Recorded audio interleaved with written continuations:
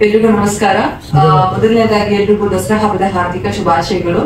ಆ, ಮೊದಲನೇ ದಿನದ ಹಬ್ಬದ ಒಂದು ದಿನ ನಾವು ನಮ್ಮ ಆಡಿಯೋ ಲಾಂಚ್ನ ಮಾಡಿದೀವಿ ಸೊ ನೀವೆಲ್ಲರೂ ಈಗ ಆಗ್ಲೇ ನಾವು ಲಾಸ್ಟ್ ಟೈಮ್ ಪ್ರೆಸ್ ಮೀಟ್ ಮಾಡಿದಾಗ ಎಷ್ಟು ವಿಚಾರಗಳನ್ನ ಹೇಳಿದೀವಿ ಸೊ ಕ್ಯಾರೆಕ್ಟರ್ನ ಬಿಟ್ಟು ನಾನು ಹೇಳ್ಬೇಕು ಅಂದ್ರೆ ಸಿನಿಮಾ ಬಗ್ಗೆ ನಿಮ್ಮೆಲ್ಲರಿಗೂ ಗೊತ್ತು. ಇದೊಂದು ಜರ್ನಿ ಸಬ್ಜೆಕ್ಟ್ ಅಂತ so life is a journey ಅಂತಾರೆ. ಒಂದು ಜರ್ನಿನ ಒಂದು ಸಿನಿಮಾ ಮುಖಾಂತರ ತೋರಿಸೋದಕ್ಕೆ ಅಂತ ನಾವು ಹೊರಟಿದ್ದೀವಿ.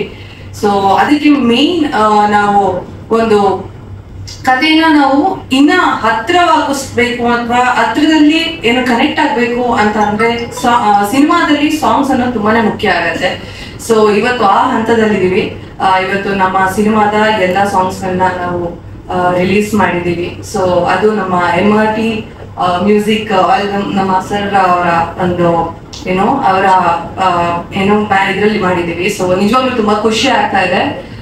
ಬಿಕಾಸ್ ಸರ್ ಆಕ್ಚುಲಿ ತುಂಬಾ ಚೂಸಿ ನೋಡಕ್ ಹೋದ್ರೆ ಸಾಂಗ್ಸ್ ಗಳನ್ನ ಫಸ್ಟ್ ಕೇಳಿ, ಆ ನಂತರ ಅವರು ಡಿಸಿಷನ್ ಮೇಕಿಂಗ್ ಮಾಡ್ತಾರೆ. ಸೊ ಸಾಂಗ್ಸ್ ಗಳನ್ನ ಇಷ್ಟಪಟ್ಟು ಅವರು ಅವರ ಇದರಲ್ಲಿ ರಿಲೀಸ್ ಮಾಡೋದಕ್ಕೆ ನಮಗೆ ಸಪೋರ್ಟ್ ಮಾಡಿದ್ದಾರೆ. So I would like to thank sir and also ನಮ್ಮ ಇದು ನಮ್ಮ ಮ್ಯೂಸಿಕ್ ಡೈರೆಕ್ಟರ್ ಕೂಡ ತುಂಬಾನೇ ಚೆನ್ನಾಗಿ ಸಾಂಗ್ಸ್ ಎಲ್ಲ ಕಂಪೋಸ್ ಮಾಡಿದ್ದಾರೆ. ಎಲ್ಲ ಎಲ್ಲಾ ಸಿಂಗರ್ಸ್ ಕೂಡ ಸಿಕ್ಕಾಪಟ್ಟೆ ತುಂಬಾ ಚೆನ್ನಾಗಿ ಆಡಿದ್ದಾರೆ ಸೊ ನಿಜವಾಗ್ಲೂ ಖುಷಿ ಆಗುತ್ತೆ. ನಮ್ಮ ಒಂದು ಸಿನಿಮಾದ ಸಾಂಗ್ಸ್ ಇಷ್ಟು ಚೆನ್ನಾಗಿದೆ. ನಾವೆಲ್ಲರೂ ಈ ಒಂದು ಸಿನಿಮಾದಲ್ಲಿ ಈ ಸಾಂಗ್ಸ್ಗೆ ಪರ್ಫಾರ್ಮ್ ಮಾಡಿದ್ವಿ ಅಂತ ಹೇಳೋದಕ್ಕೆ ತುಂಬಾ ಖುಷಿ ಆಗುತ್ತೆ.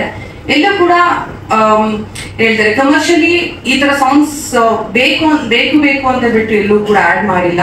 ಸಿಚುವೇಶನ್ ಅಲ್ಲಿ ಸಾಂಗ್ಸ್ಗಳು ಹೋಗುತ್ತೆ. ಹಾಗೆ ಸಾಂಗ್ಸ್ಗಳು ಒಂದು ಕಥೆನ ಹೇಳುತ್ತೆ ಸೊ ಈ ಕತೆ ನಿಮ್ಮೆಲ್ರಿಗೂ ಇಷ್ಟ ಆಗುತ್ತೆ ಅಂತ ಭಾವಿಸ್ತಾ ನನ್ನ ಮಾತನ್ನ ಮುಗಿಸ್ತೀನಿ.